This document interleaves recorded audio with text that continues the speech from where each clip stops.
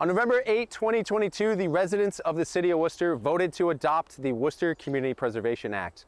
My name is Tom Matthews, and on this episode of The Buzz, I'll be talking to the city manager to find out exactly what the Community Preservation Act is and how it benefits the city.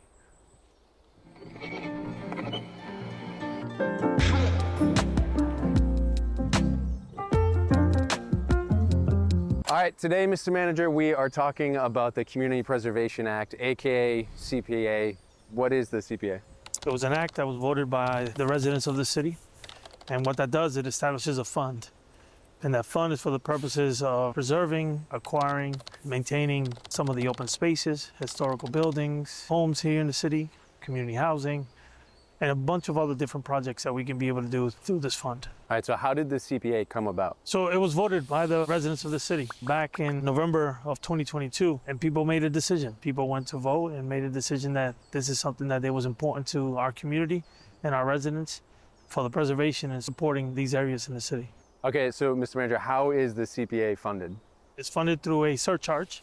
It's a 1.5% surcharge into your property tax. It's funded by a state match as well. And so these funds provide an opportunity for us to preserve and also acquire whether it's open space, housing, historical properties. All right, so how do folks pay the CPA bill? It's starting July 25. They'll be able to pay it uh, directly with their tax bills. As they receive the tax bills, it'll be included right in there. Uh, folks who have mortgages, the mortgage companies will be able to pay it through directly through that. But historically, in the last the last year, what we did is uh, we split the bills and we sent a direct bill to folks, uh, so folks will be able to pay that way. But starting July 2025, people will be able to start to pay directly through their tax bills on one particular invoice. All right, so what do the funds go toward, and are there any restrictions? Yeah, there are some restrictions. Uh, right now, the fund is restricted in four different categories.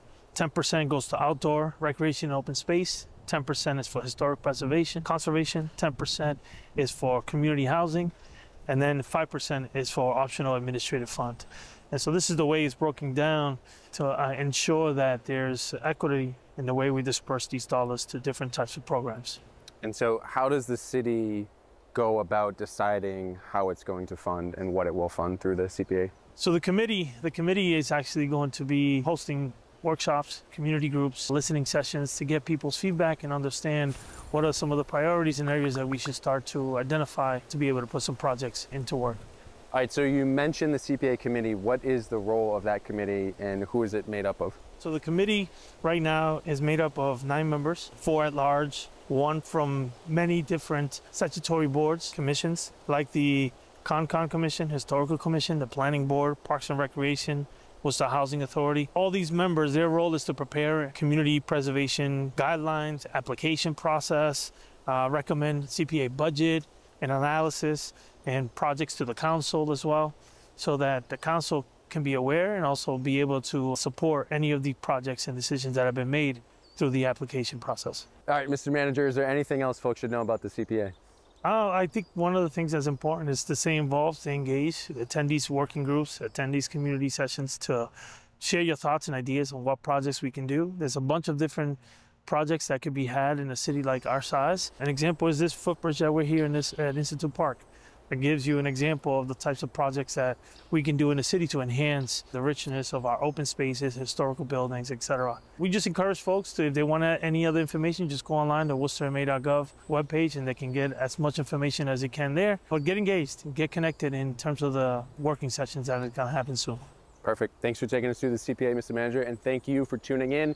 As always, make sure to give us a follow on social media. Head on over to worcesterma.gov to find out everything else that's happening in the city.